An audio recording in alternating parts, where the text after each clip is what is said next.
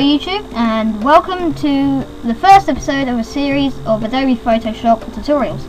In this we'll be doing something very basic but it looks quite awesome.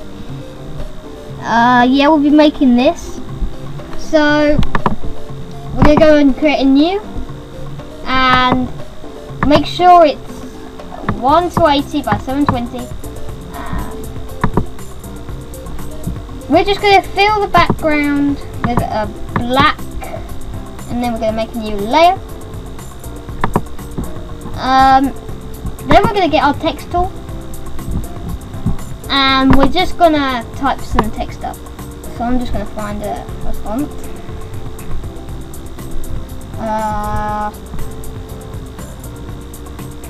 yeah, it's quite good. And I'm just going to type awesome make sure it's white. And we're just going to uh, make our text a little bit bigger. So I'd say about 125 and then we're going to select control. So we're going to deselect this thing. We go control A that selects everything. And then you're going to use these things up here to align this text into the middle. So we're just going to do this one which aligns it to the horizontal and then uh, yeah horizontal and then the vertical. And that will put everything in the middle. Press ctrl D and that will deselect everything. You can right click here now and click rasterize type and that means we can't edit it, any, edit it anymore but we don't need to. Create a new layer and we're going to go to filter. Sorry now we're going to fill it with black first. Then we're going to go to filter then we're going to go to render and fibers but it doesn't really matter.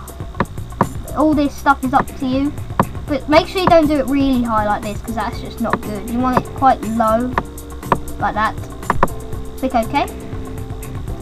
And we're going to do, what we're going to do now is going to right click and we're going to create clipping mask. And that makes like it stay inside the text, which is quite cool. Uh, we're going to make another new layer. And we're going to select our paintbrush and we're going to turn down the flow to about 1 since that's just going to make the effect. Um, you can the size is up to you but I'm just going to be using about um, just around about 100 and we're going to be doing like a rainbow. So select a red and then just start painting. Like this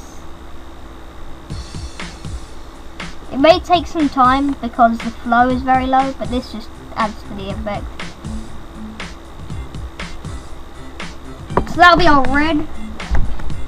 And now we want an orange. That'll be good orange. You want a smaller amount of orange because there isn't much orange in a rainbow. So just paint around the orange. And then we want a yellow and just start painting the yellow. You need, the problem with the yellow, you have to do the yellow quite a lot, otherwise it will appear kind of like a, a lime green.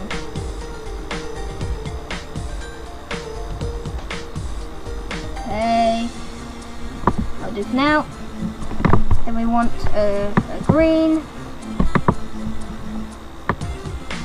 I'm just going to speed up the video a little bit, just so I don't waste your time.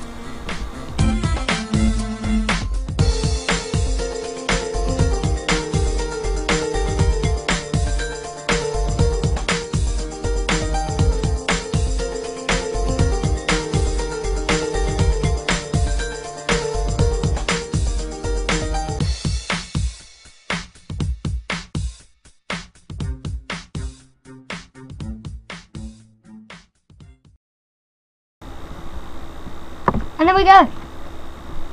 Now we're going to set our color mode to color.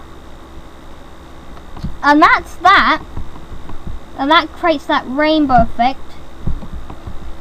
Now, um, in case it appears like uh, the rainbow is kind of overlapping the awesome text, there's a way of sorting that out. You just right click and create clipping mask and that means it will only apply to this layer here. Uh, we're going to go down to our awesome. I'm going to go to filter. I'm going to go to blur. I'm going to go to radial blur. Uh, maybe about 10. That was too much. So we're going to go to filter. Again, blur.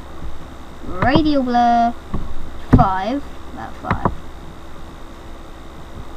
As you can see, it's it's done the effect of the uh, you know the fluffiness, if you know what I mean. You might want to delete this layer.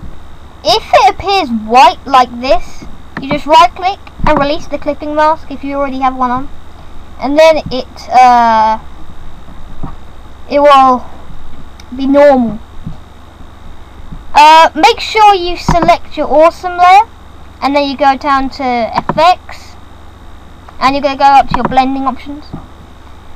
Uh, we might add an outer glow and this we're going to give my, I quite like, I have this nice blue which is 254 blue and 105 green. Uh, you can play around with this but that's quite a good one at the end. Change the size out a little bit.